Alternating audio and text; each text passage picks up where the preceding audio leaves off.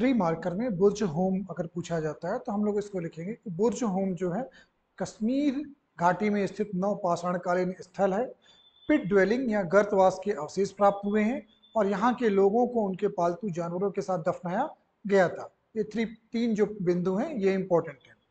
फिर अगर महाभाष्य पूछा जाता है थ्री मार्कर के लिए तो इसमें हम लोग लिख सकते हैं, पाणनी के अष्टाध्यायी पर पतंजलि द्वारा रचित टीका है।